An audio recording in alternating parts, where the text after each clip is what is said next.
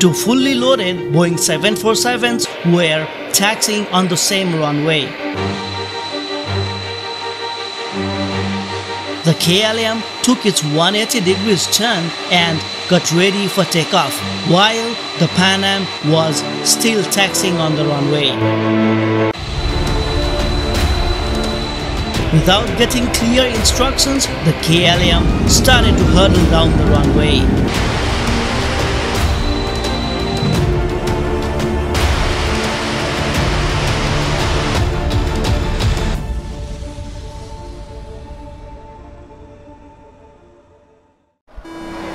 Twenty-seven March 1977 Schiphol Airport, Amsterdam.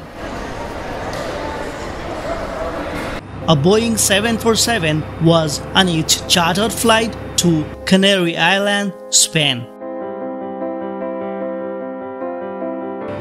The flight was chartered on behalf of the Holland International Travel Group. On board the flight were 234 passengers and 13 crew members.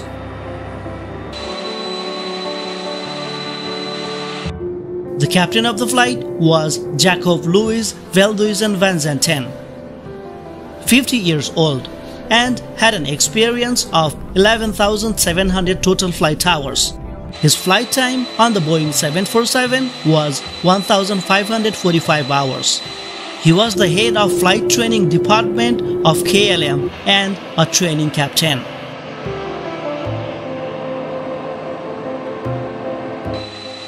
The first officer was Klaus Meyers, 32 years old.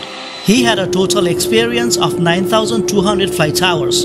He had logged only 95 hours on the Boeing 747.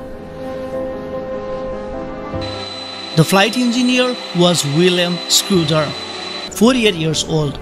He had an experience of 17,031 flight hours. He had been on the Boeing 747 for about one year and had accumulated 540 hours on the aircraft.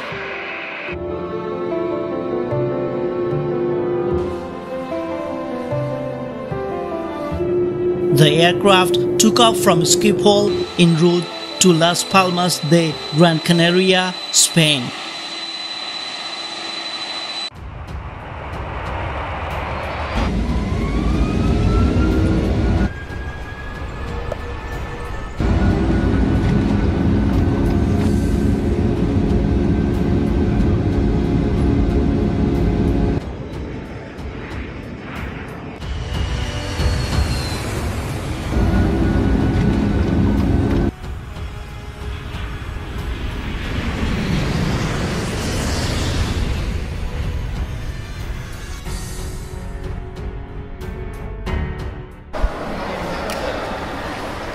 26 March 1977. Los Angeles International Airport, United States. A Boeing 747 operated by Pan Am was on its scheduled passengers flight to Gran Canaria, Spain with an intermediate stopover in John F. Kennedy International Airport, New York City. The flight left Los Angeles and landed at JFK without any notable events.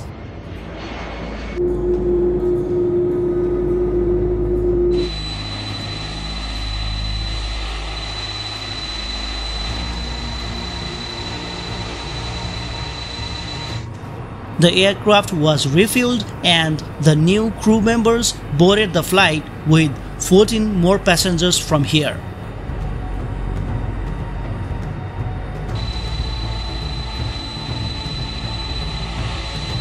In the command of the flight was Captain Victor Grubbs, 56 years old. He had accumulated 21,043 of total flight hours and 564 hours on the Boeing 747. The first officer was Robert Bragg, 39 years old. He had 10,800 hours of total flying time and 2,796 hours on the Boeing 747. The flight engineer named George Vance was 46 years old. he had 15,210 hours of total flying time and 559 hours on the Boeing 747.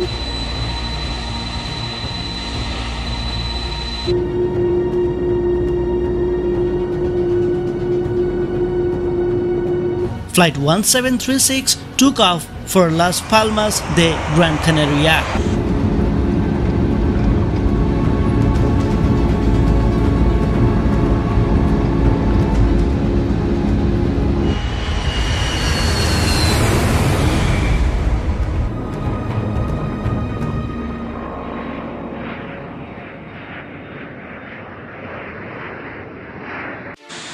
Both of the aircrafts were heading towards Gran Canaria. While they were en route, the bomb exploded in the airport passenger terminal. So the civil aviation authorities closed the airport temporarily and all incoming flights bound for Gran Canaria had been diverted to Los Rodeos, Tenerife, including the two Boeing 747. The aircraft landed at Tenerife with a time difference of 35 minutes.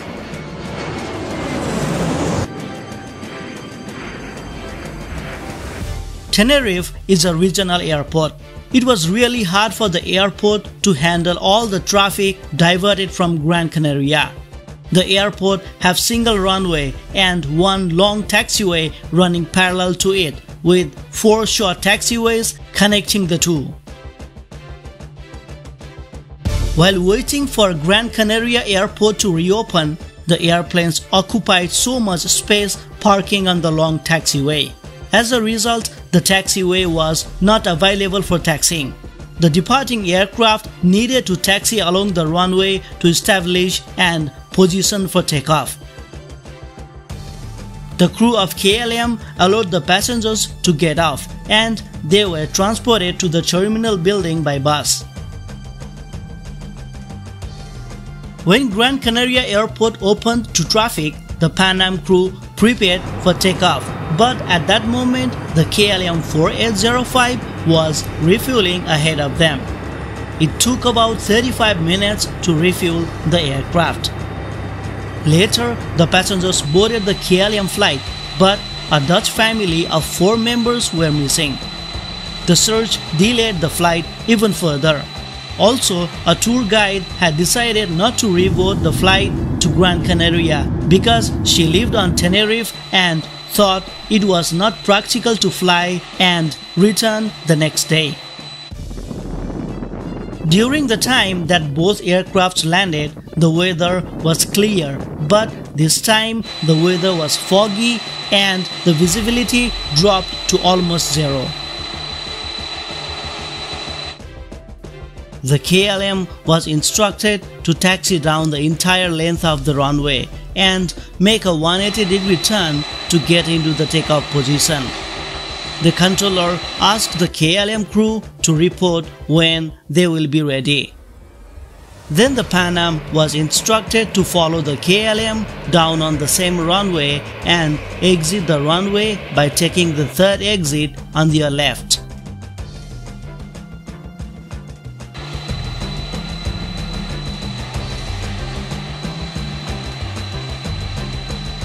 The crew of Pan Am did not understand clearly as controller had told them to take the first or third exit.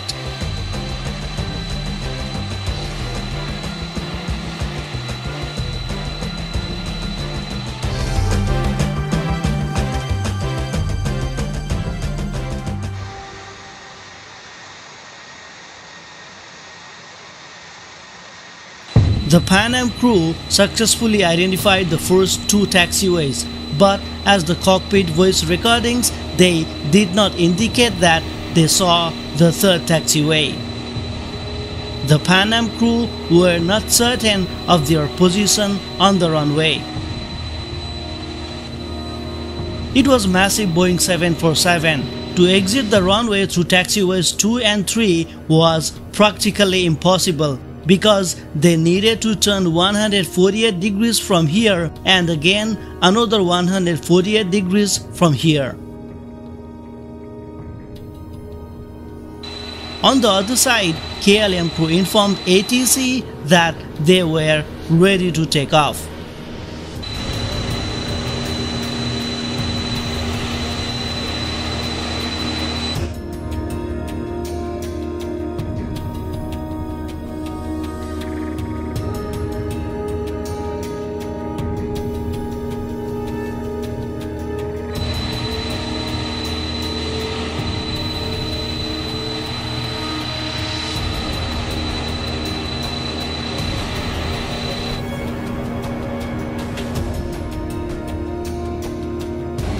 Captain of KLM applied the takeoff thrust. The Pan Am crew also heard that information and informed the ATC that they are still taxiing down the runway.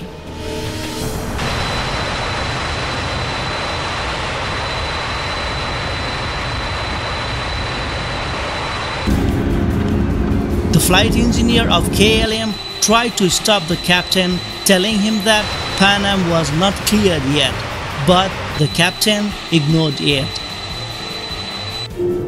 The captain of Pan Am saw the landing lights of KLM from the distance of 700 meters. The crew of KLM pulled the control wheel when they saw the Pan Am in front of them. But it was too late. The KLM collided with the Pan Am just as it was taking off.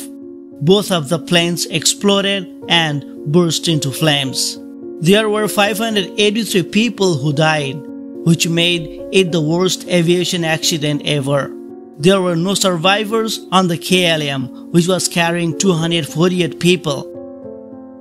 Out of 396 people in Pan Am, 61 were able to survive.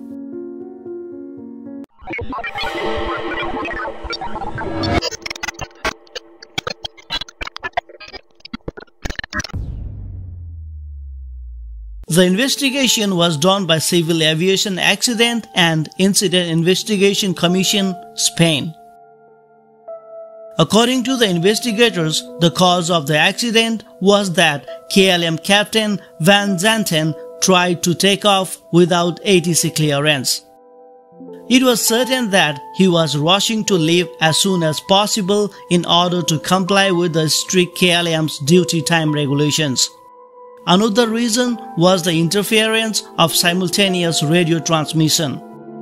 When the KLM captain said that we are going, ATC replied them, Okay, stand by for takeoff, I will call you. Simultaneously, Pan Am co-pilot said that we are still taxiing down the runway. These messages were not heard by the KLM crew.